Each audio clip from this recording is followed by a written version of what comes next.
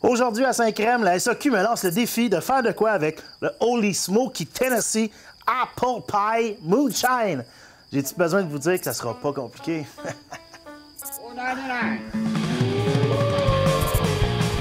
fait qu'avec la Apple Pie Moonshine, on fait des bangs. Hey, oh, hey, oh, hey.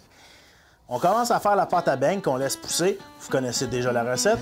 My grandfather making moonshine, baby, in the forest, eh?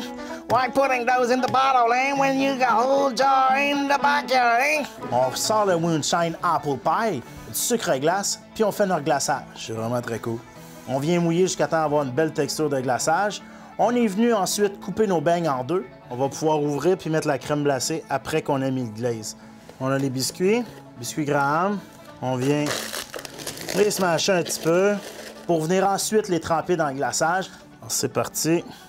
Puis on est venu mettre les, morceaux de graham par-dessus. Mets ça de côté. On sort la crème glacée vanille. Une belle grosse coupe de crème glacée. That's it. On a nos beignes apple pie glacé. Mmh.